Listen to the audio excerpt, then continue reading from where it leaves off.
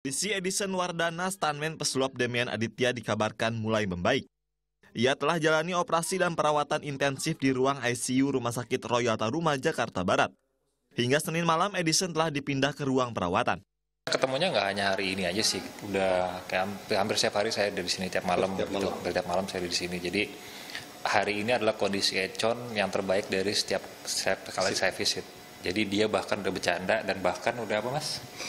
Udah nyiapin trik baru buat next trick mau next show? Ya, jadi maksudnya uh, kita berdua memang makanya banyak orang yang nggak tahu kalau misalnya Econ sama saya itu sebenarnya udah lebih dari sekedar hanya teman kerja, udah lebih dari itu.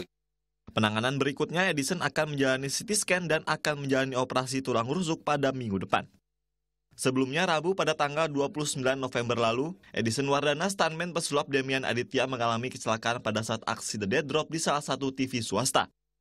Edison saat itu masih terjebak di dalam peti dan kemudian terjatuh dari ketinggian 6 meter. Sempat alami koma, kini kondisi Edison mulai membaik. Tiffany Alhamid melaporkan untuk NET.